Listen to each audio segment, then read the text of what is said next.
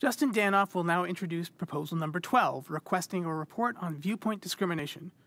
Mr. Danhof has pre-recorded the following statement.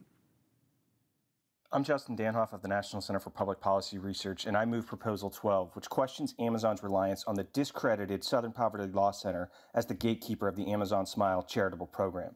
The SPLC is a bigoted organization whose own staffers have also accused it of racism and sexism.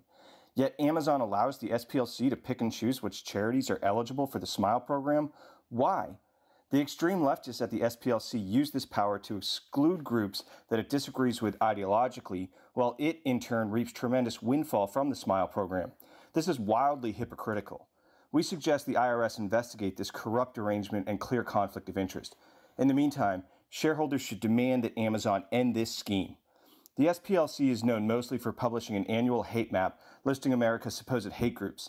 This cynical yearly exercise is little more than a public listing of SPLC's political enemies.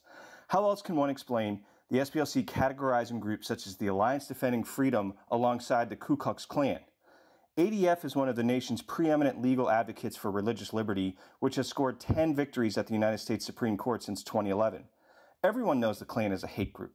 What the SPLC is trying to do is convince naive Americans that conservative and religious organizations are morally equivalent to the KKK. In 2014, the FBI removed the SPLC as a source, citing a number of concerns. Last year, even the far left leadership of Twitter dumped the SPLC from its Trust and Safety Council after many of the group's scandals were exposed.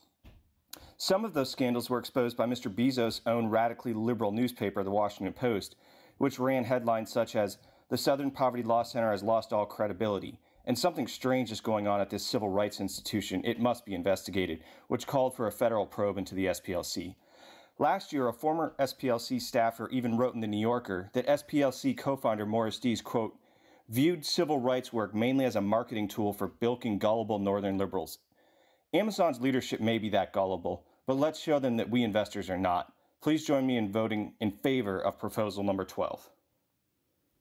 Thank you.